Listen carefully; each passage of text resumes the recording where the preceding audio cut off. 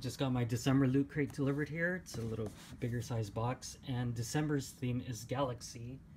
And according to Loot Crate, it has universal appeal with um, Halo 5, Star Wars The Force Awakens, and even Galaxy Quest included. So let's see what's inside.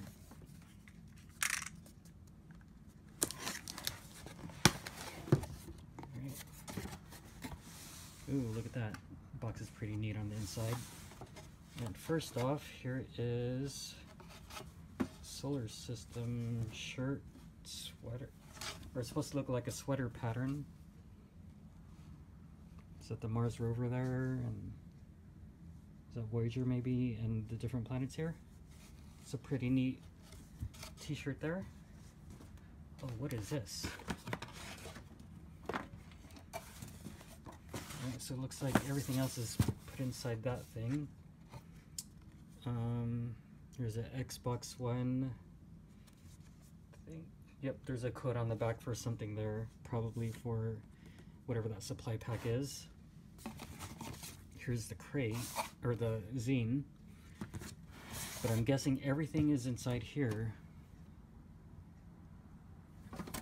So it's a Halo 5 themed box, and it's a different lunch box that opens this up. Ooh.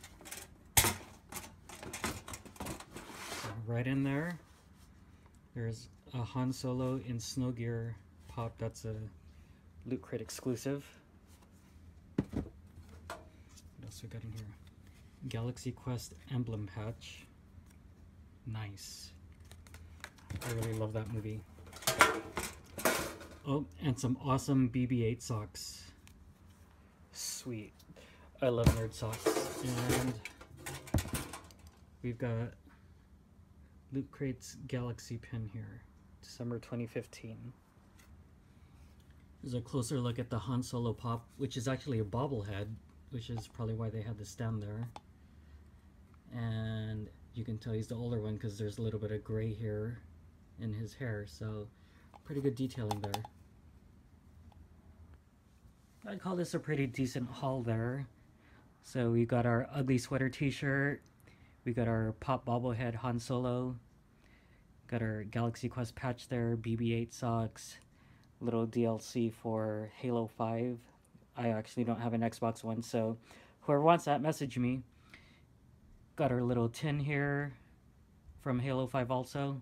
It's really neat. I I like the way it opens up from the top. Here's the box turned inside out. So pretty decent um, Galaxy haul. I would give this one a 4 out of 5. Pretty good job, Loot Crate.